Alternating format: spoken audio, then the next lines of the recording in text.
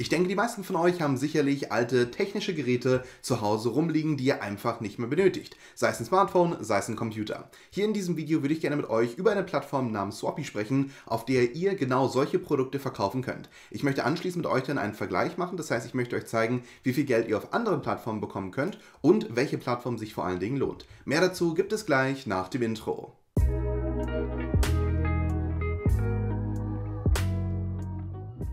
Ich möchte mit euch vor allen Dingen heute hier in diesem Video über folgende Plattformen drüber gehen, nämlich zuallererst mal über die Plattform Swappy, anschließend dann über die Plattform Swappa. Ja, das sind tatsächlich unterschiedliche Plattformen. Dann über den Anbieter Rebuy, ich denke, viele von euch kennen ihn sicherlich. Und dann will ich das Ganze mal vergleichen mit eBay und anschließend dann nochmal über ein paar kleinere Plattformen drüber gehen, die viele von euch vielleicht bisher noch nicht kennen. Welche Plattformen das sind, das zeige ich euch, wie gesagt, gleich. Fangen wir zuallererst mit den großen Plattformen an, nämlich der Plattform Swappy. Ich habe noch nie auf diesem Kanal hier über die Plattform gesprochen, deswegen dachte ich mal, heute ist es vielleicht an der Zeit. Sagen wir zum Beispiel, wir wollen so ein iPhone 7 Plus hier verkaufen und wir wollen das halt, wie gesagt, einfach loswerden. Wir brauchen das nicht mehr. Was können wir tun? Wir können hier einfach oben auf Verkaufen draufklicken. Anschließend dann können wir uns das Gerät, ähm, Gerät auswählen. In meinem Fall würde ich jetzt hier runter scrollen und würde auf das iPhone 7 Plus klicken, würde auf Verkaufen klicken und jetzt kann ich halt die Speicherkapazität festlegen. In meinem Falle 256 GB. Lässt sich das Gerät einwandfrei nutzen? Ja. Sind die Farben auf dem Screen gleichmäßig zu sehen? Definitiv. Sind Kratzer drin? Nein, natürlich nicht. Sind da irgendwelche Risse drin? Nein, auch nicht. Und ist das Handy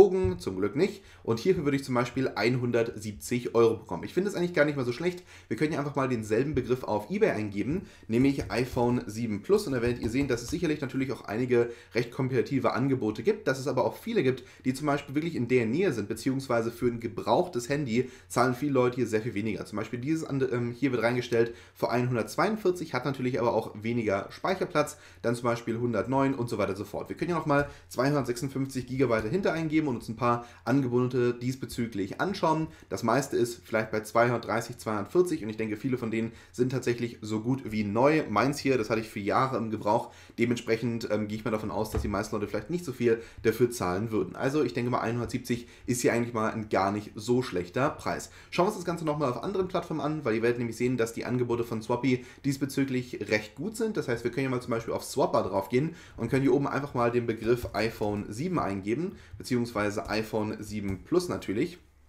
Geben wir es einfach ein, iPhone 7, iPhone 7 Plus. Und wenn wir sehen, dass viele von diesen hier für weit weniger angekauft werden, zum Beispiel hier haben wir so ein paar Angebote für 170 Dollar, nicht vergessen, das ist immer Dollar, keine Euro. Dann zum Beispiel hier auch wieder 170, 205, das wäre natürlich ein bisschen mehr, 190 und 184, aber hier sind die Angebote auch in meisten Fällen ein wenig drunter.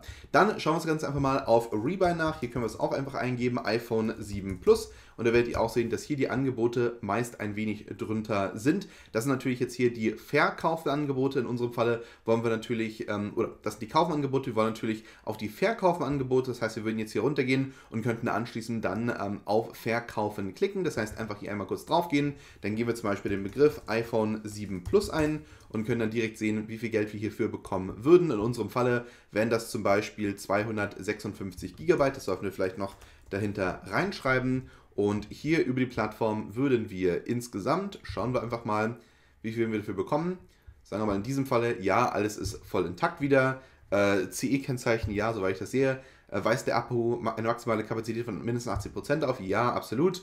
Der Zustand ist, sagen wir mal, sehr gut. Dann beurteilen Zustand der Rückseite und des Rahmens auch sehr gut. Ist das USB-Kabel vorhanden und intakt? Nein, leider nicht. Dann ist das Original Lagerstecker von Nein auch nicht. Und dann die Funktionen, ja, das funktioniert, okay. Und hierfür würden wir gerade mal von Rebuy 30,50 Euro bekommen.